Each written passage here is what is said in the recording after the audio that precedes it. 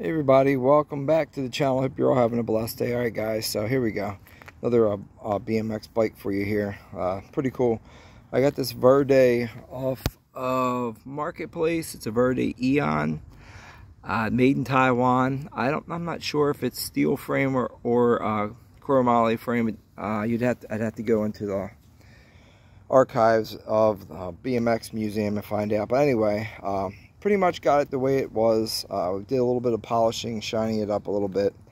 Um, now it came with these blue rims. I did order these SE uh, tires to match the bike, and they're directional too, I believe. Uh, so they're directional tires.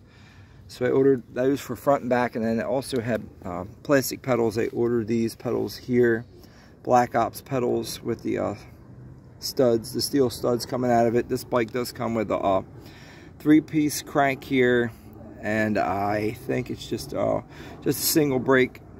Um, just give you guys a better picture of it here. It does have an anodized blue for the seat clamp too. I have it all the way down for him. Uh, the back rim is it does have half inch so I like that about it. And then the front is uh, 3 8 for the hub. For the front I'm, I'm not sure about who makes the hubs. They don't really have any uh, marks on those and then I said it has the uh, smaller size sprocket on it. I'm not sure the tooth count of that either. But uh, that's it guys. Just wanted to share that with you.